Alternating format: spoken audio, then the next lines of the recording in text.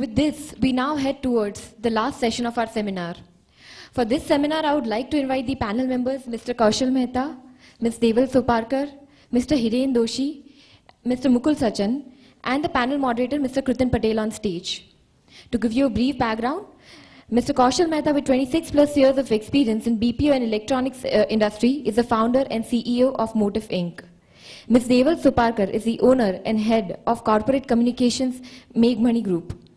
Mr. Hiren Doshi, with experience of over 20 years, is the VP Finance of Rolex Rings.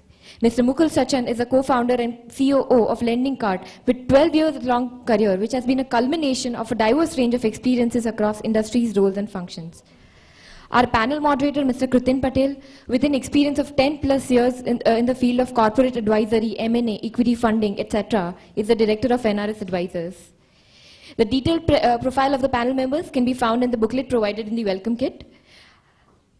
I would now request Mr. Kritin Patel to take over and begin the panel discussion. Good afternoon, everyone. I can see some hungry faces. Apologies for the delay. I would like to thank all the panel members sitting here and accepting our request for attending this event. I would also like to draw the attention of the audience that we have a very diverse and versatile uh, panel here from different sectors. Wasting much time, I would like to start the panel discussion. My first question is to Deval Soparkar. Meghmani Group promoted two major ventures. Meghmani Organics was the first to raise private equity as early as in 1997 when Gujarat was very new to private equity, probably the first uh, in Gujarat. And also you successfully provided exit to your investors in 2004, listing in Singapore Stock Exchange. To what extent you would attribute the growth of Meghmani Organics to early stage private equity investment?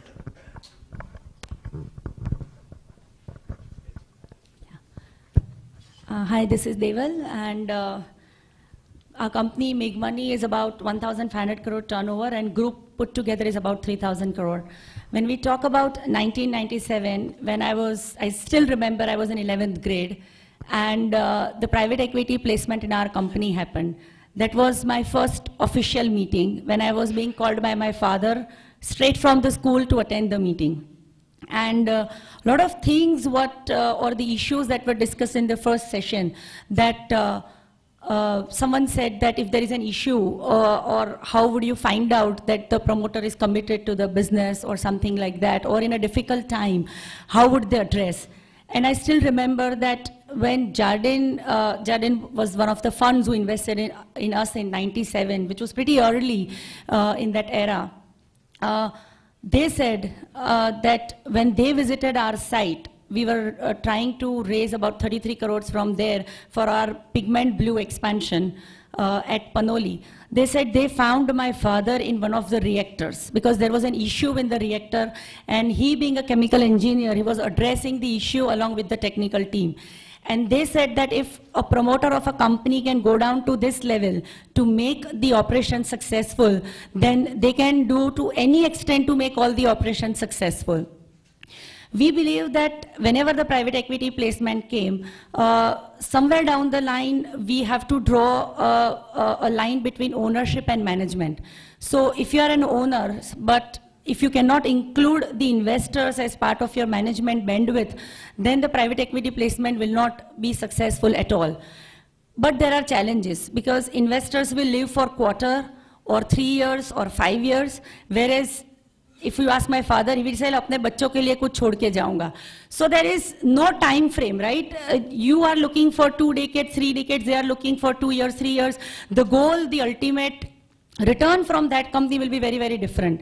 But I believe that that initial investment that came in, not through IPO, but through private equity placement, uh, helped us to become the largest pigment manufacturer in the world for blue and green pigment. Uh, we give our green to US dollar notes also, and earlier to our old 500 rupees note also.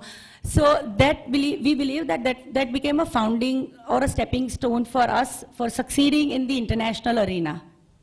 Thanks. Thanks, Eva. My next question is to Kaushal Mehta.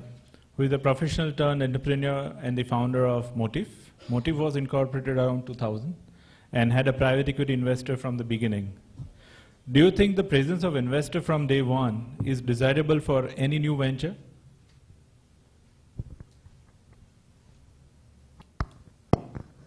So I think uh, that depends on the kind of business. Uh, before Motif, for just under three years, we had a software development company, which we ran for about two years and eight months.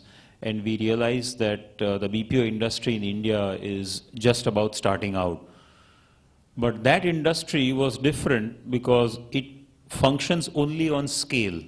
In the software industry, you could at least start out, let's say, by getting an office on rent and buying computers. This was a scale business. So we decided that if we wanted to do it right and not compromise, uh, we would probably want to raise funding from day one. Thank you, Kaushal Bhai. Um, my next question is to Hiren Doshi. Thank you, Hiren, for coming on such a short notice due to inavailability of Mr. Manesh Bhai. Uh, Rolex was on the roll when you raised private equity in 2007, but soon faced turbulence due to global meltdown from 2008 and made a successful comeback since 2013. I would say that the journey of Rolex has been nothing less than a Bollywood film, where you see all the shades of life and in the end, all is well. How would you narrate the role of equity in your journey so far?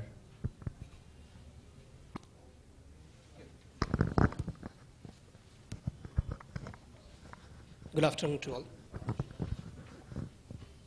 As Krutin Bhai was mentioning that it's a story like Bollywood film, uh, like that. Uh, see, we had an equity investment in uh, late 2007, and thereafter global meltdown came, and we were struck in, uh, or rather, we were trapped in such a situation where we were not able to even, you know, run the company to absorb my fixed cost also.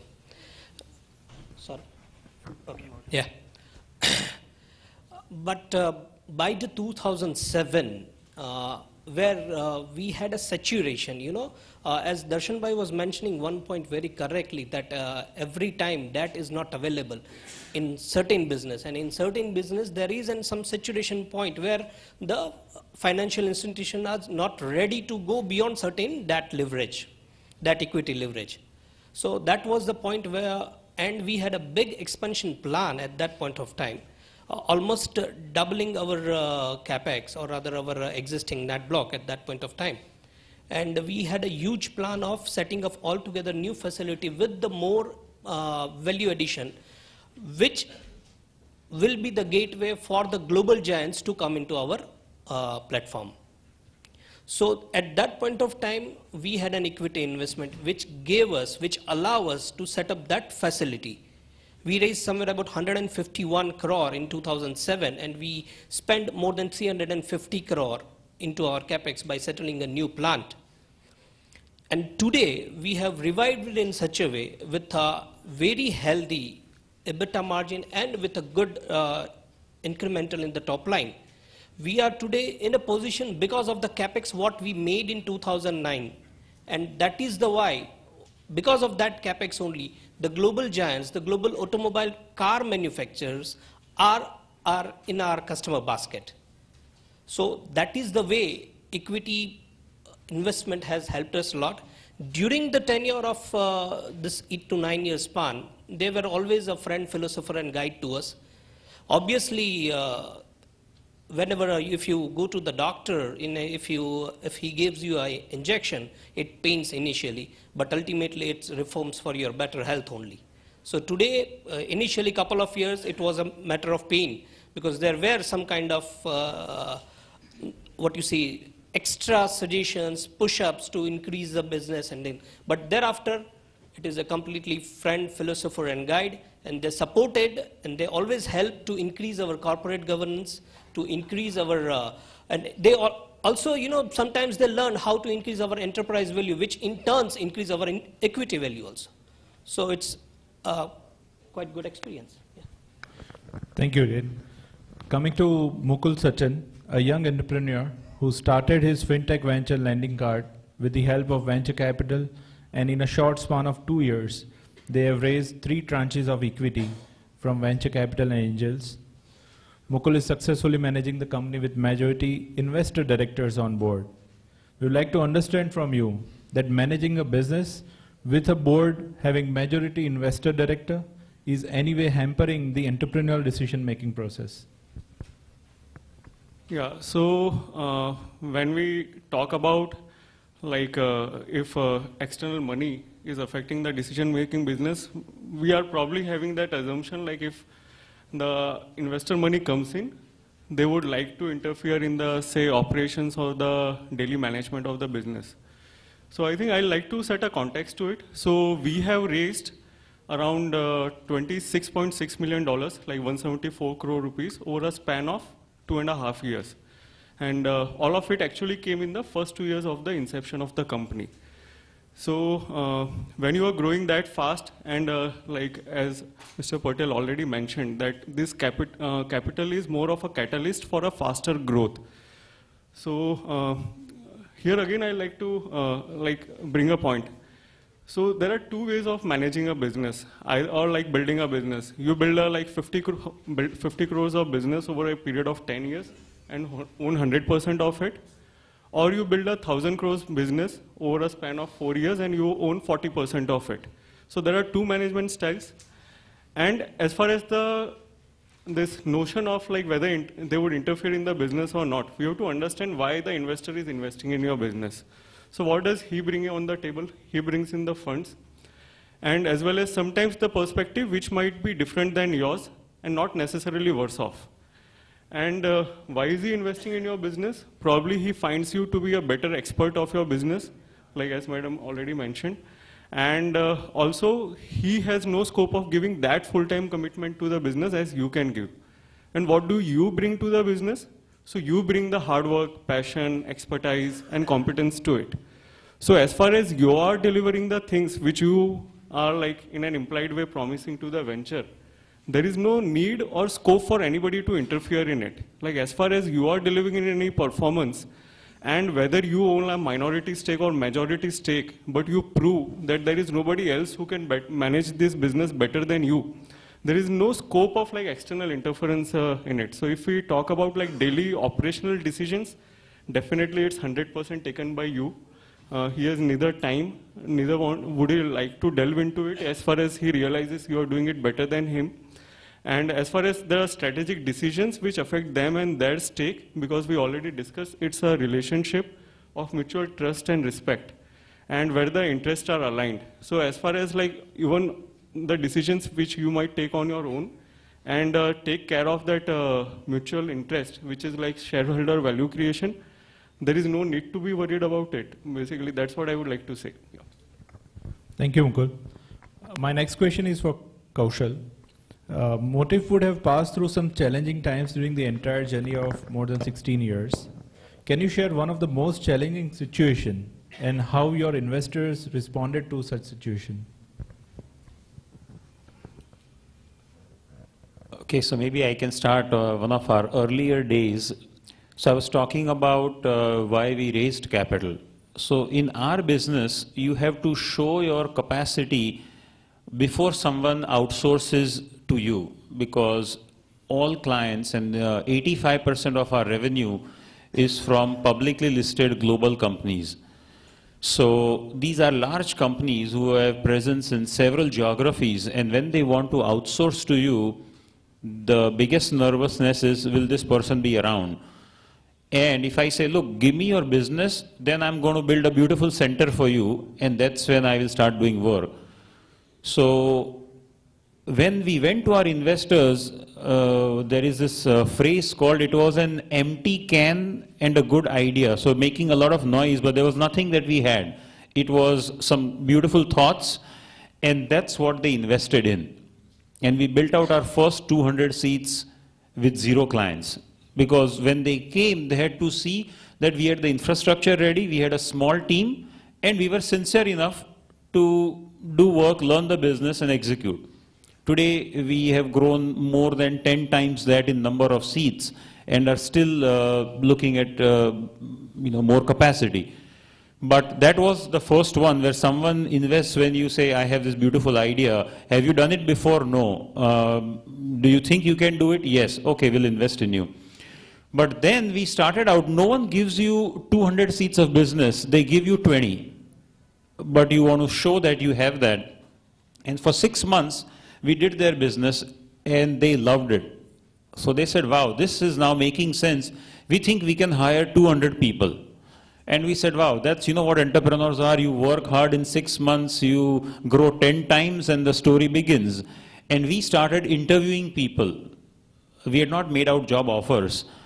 But uh, we of course didn't have a conference room, so the Taj Umaid, which was at that time near the airport and which looked good to some investors, we said, okay, that's what our interview uh, room is, because if you brought people to Motif, then there was not much to show it anyways. So now we have this group of people we are interviewing, things are going well, and this was a publicly listed company. Uh, we hear on CNBC that that company has shut down. And everyone was stunned that, look, your first client, uh, trying to hire 200 people after six months of testing, has actually shut down. And we said, okay, you know what? I also tried to be an entrepreneur. And good, I tried. Maybe it didn't work out. And we had come back from the US. Uh, both Parul and I uh, lived in Silicon Valley for 10 years with Intel, Sun Microsystems. Pretty much everyone said you are crazy going back to India in 97 after living there for 10 years. And then we said, nahi, nahi, kuch karenge. And then this was the outcome. So certified uh, stupidity, crazy, everything. And then I said, okay, maybe that's good. We'll take up a job somewhere. And I get a call from one of our uh, board members, our investor for the past 16 years. He's on Wall Street, so they are, of course, you know, looking at this live. And uh, he says, Kaushal, I heard the news. These things happen. Go on. So and I was stunned that this guy who was invested in this guy who said he had an idea and that idea did not materialize and he's actually telling me that these things happen. And a very recent example, 16 years later, so you know, a lot of people express a lot of desire to invest in Motif. We've actually never raised a second round of funding. So same management, same investors for 16 years, which is unheard of in this, uh, you know, a lot of space places and um, someone says, look, we want to invest in Motif, we'll value you at, uh, you know, several X uh, our initial investment, getting closer to the magic number of 10X and all.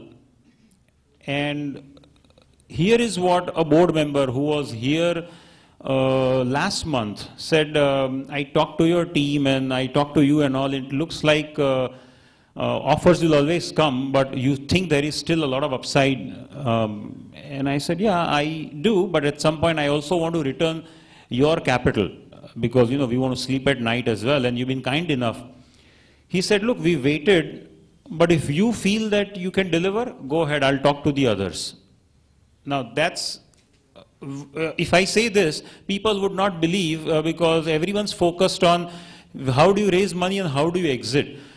But I think behind all of these entrepreneurs need to move one step beyond, which is, are you trying to build something of sustainable value?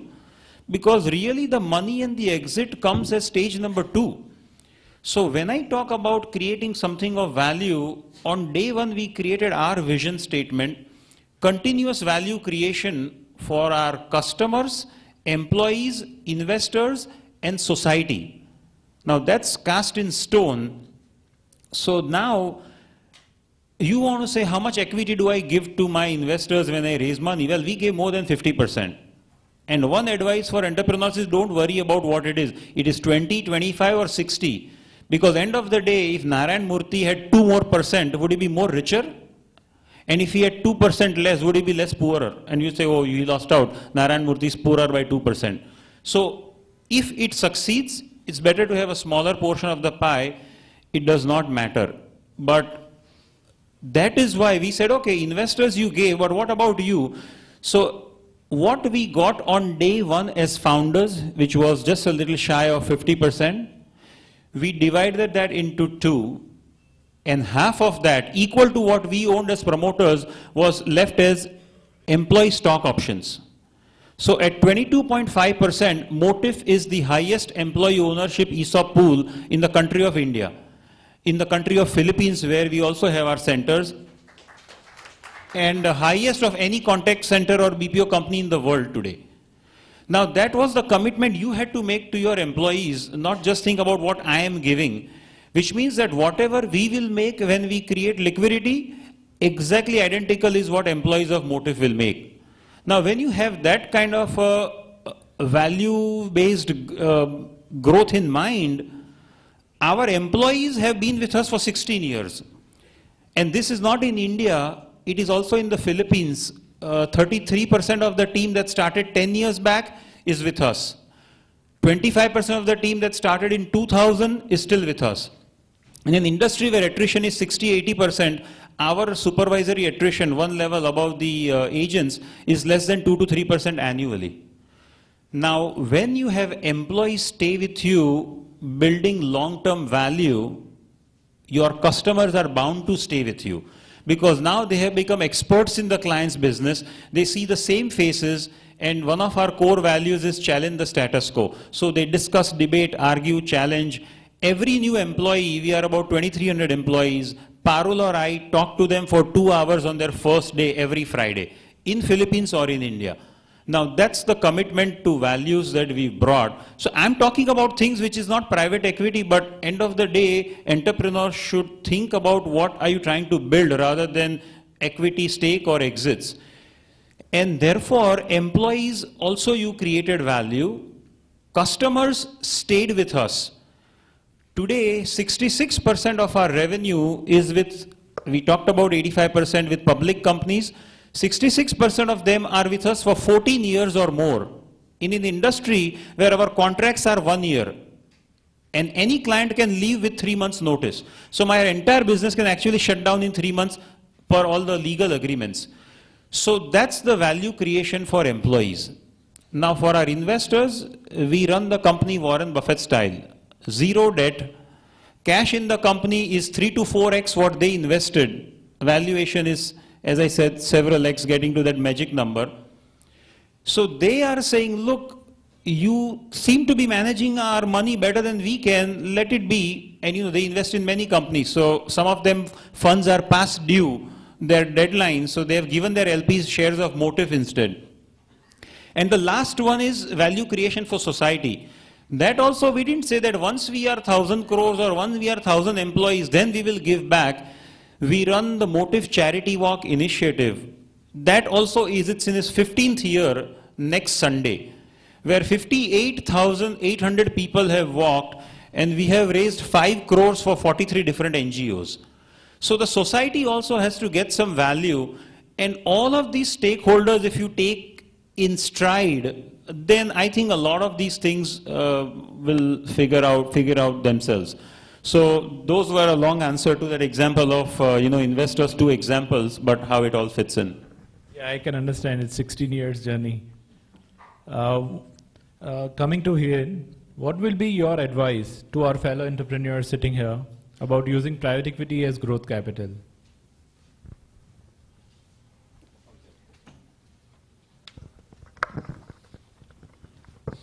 Very frankly, too small to give you any kind of advice, such big giants. I'm just suggesting uh, whenever you feel that your business, by infusion of certain amount of fund, having no initial cost, I'm talking about initial cost only, and without any kind of liability on your assets, and if you are able to build in a multiple way, during the span of next five to seven years, definitely one should opt or one should go for a private equity contribution because private equity, I do have study of three or four uh, small uh, industries where equity partners have, uh, because of the fund infusion, the company created a miracle. So I strongly suggest if, uh, in spite of going this thing, because one uh, small thing uh, which uh, sir has told that increasing the value of your equity is much, much appreciable rather paying a cost to your equity partner. So even if you are losing your stake to some extent, even if you come down to a minority, at certain point of time, it is always uh, quite beneficial or uh, advisable to grow, and definitely you'll get the results. But one thing is sure, everything is subject to your performance. If you do have your trust your patient your, uh, into your business and you know the each and every nerves of the business, then only one should go for it. Thank you, Dave. My last question for the panel is to Deval. Yours is a listed entity, which gives you an additional option of raising funds through public route. What advice would you give to our fellow entrepreneurs? That is whether they should go for private equity funding over public listing? Is it the ease of fundraising through private equity or any other intangible which you would like to highlight? Or what's your opinion on it? See, Meghmani Organics is a listed company, and uh, we had an option when we decided to float a almost of the same asset wise, same size of a company in 2007-8 time, Meghmani Finechem Limited. So at that time, Meghmani Organics is about 600 crore asset base, and Meghmani Finechem, the initial project was of 600 crores. Uh, we had an option to put that whole project in Meghmani Organics Limited and do the IPO or likes and then do it. We decided to put that Meghmani Finechem as a sub subsidiary company of Meghmani Organics Limited. And in MFL, we got funds from International Finance Corporation, World Bank.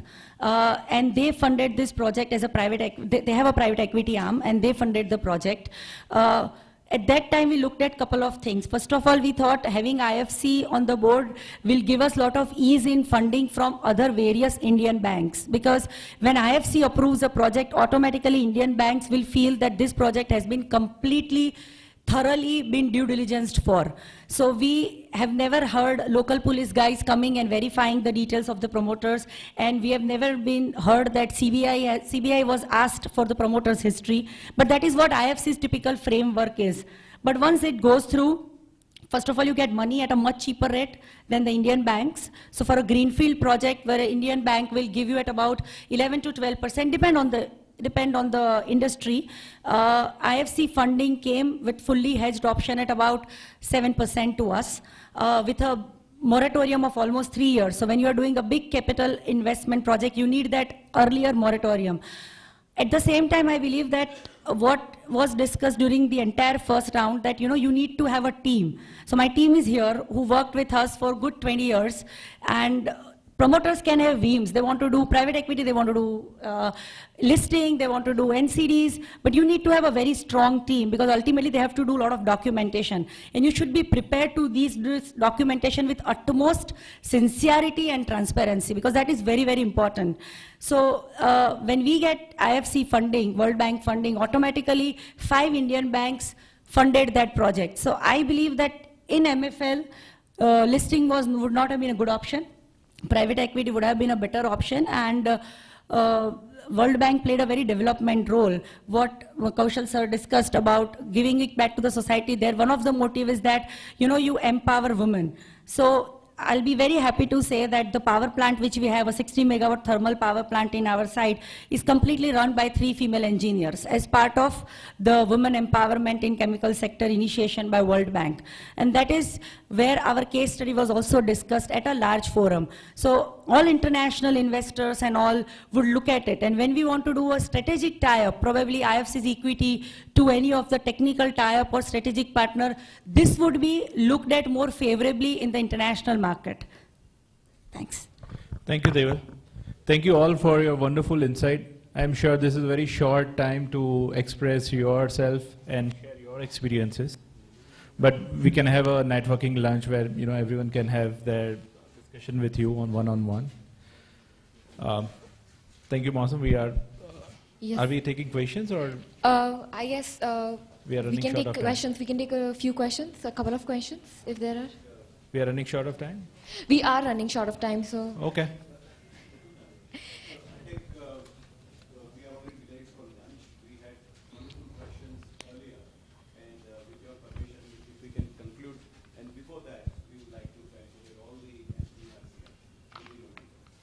I, I would request uh, Mr. Uh, Rajiv Mehta, Mr. Amber Patel, Mr. Nipam Shah to come on stage and present memento to all our speakers. And Mr. Tushar Agrawal as well. Tushar, Patel, I'm sorry.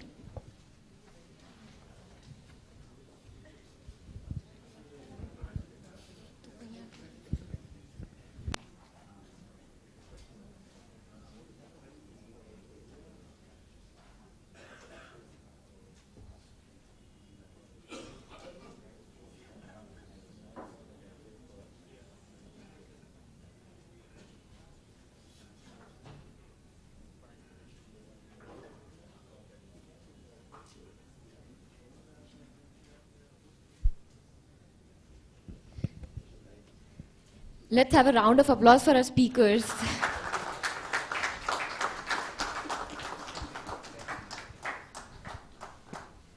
Thank you so much for, to, to all the speakers for being here and making this such an interesting session.